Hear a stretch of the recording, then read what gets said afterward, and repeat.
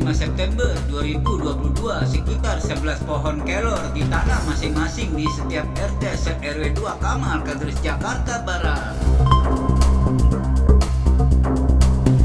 Pohon kelor tersebut merupakan satu-satunya pohon yang menjadi sebuah kebutuhan warga di saat membutuhkan untuk ASI dan daya tahan tubuh khususnya ibu yang sedang menyusui. Eh, Pak RW, ini untuk eh, agenda hari ini apa Pak RW? Alhamdulillah ini adalah salah satu program di RW 02 yaitu September menanam pohon kelor. Eh, tujuannya September ini eh, agak cerah Alhamdulillah yang insya Allah nantinya eh, ada 11 pohon kelor yang insya Allah kita akan tanam di masing-masing RT satu RT satu pohon kelor Nah, insya Allah nanti semoga pohon kelor ini bisa bermanfaat buat warga RW 02 dan juga bisa menjadikan uh, kebutuhan-kebutuhan warga.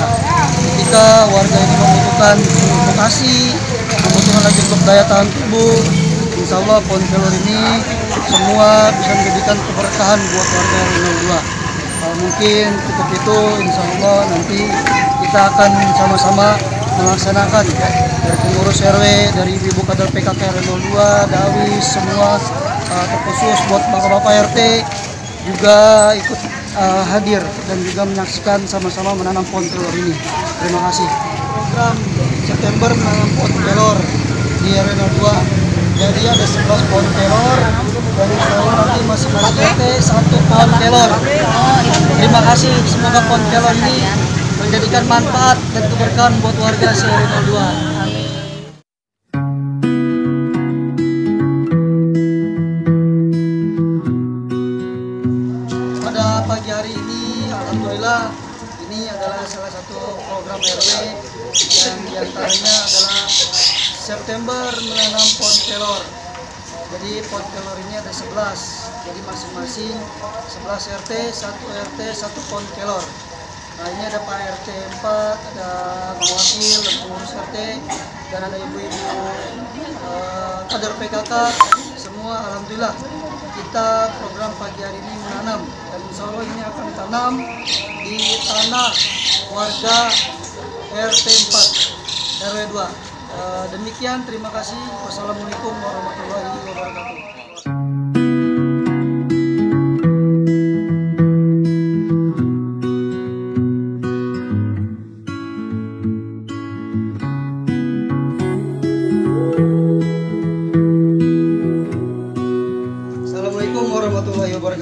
Waalaikumsalam warahmatullahi wabarakatuh. Alhamdulillah pada pagi hari ini kita ada salah satu program KRW-an yang di antaranya adalah program September menanam pohon kelor. Uh, guna menanam pohon kelor ini yang pertama adalah kesederhanaan kita bersama dan juga semoga pohon kelor ini bisa menjadikan kemanfaatan dan keberkahan buat warga se-RW 02 khususnya RW 5 RW 02. Dan pada pagi hari ini sama-sama Nanti insya Allah akan ditanam oleh Pak RT dan pengurus. Ini akan kami serahkan kepada Pak RT. Saya terima nih Pak.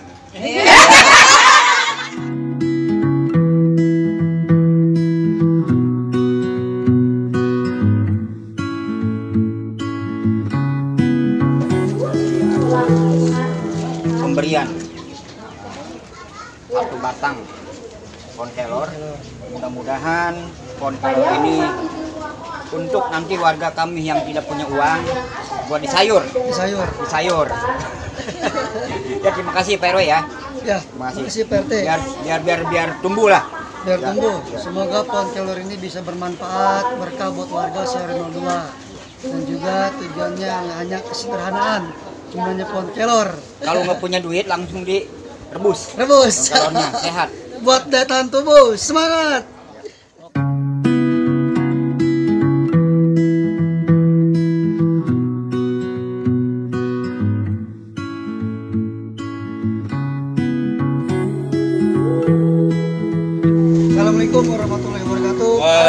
Warahmatullahi wabarakatuh. Saya ucapkan alhamdulillah pada pagi hari ini kita telah melaksanakan program PRW-an yang di mana adalah September menanam pohon kelor. Insya Allah ini cuma hanya sama-sama kita menciptakan kesederhanaan di wilayah Renal 2 dan juga semoga pohon kelor ini menjadikan kemanfaatan keberkahan buat warga si Renal 2.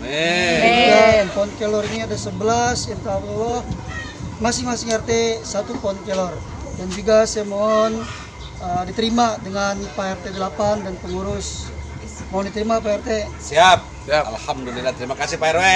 sama-sama Mudah-mudahan pohon kelor ini bermanfaat buat warga RT 08. Amin.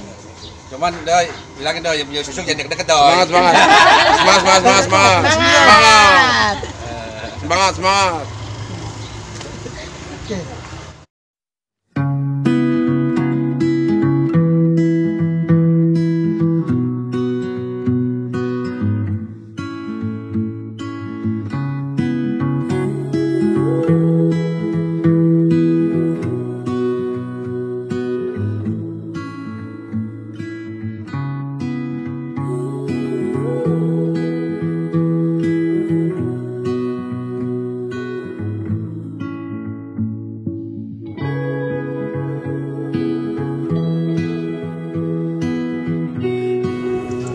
Assalamualaikum warahmatullahi wabarakatuh. Waalaikumsalam warahmatullahi wabarakatuh. Saya ucapkan Alhamdulillah pada pagi hari ini adalah salah satu program RW di RW 02 yang di mana adalah program September menanam pohon kelor.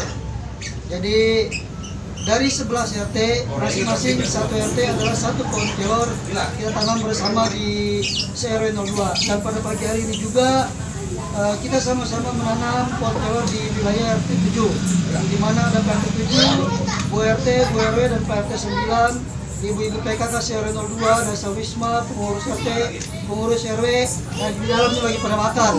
Dan RW 2 juga ada.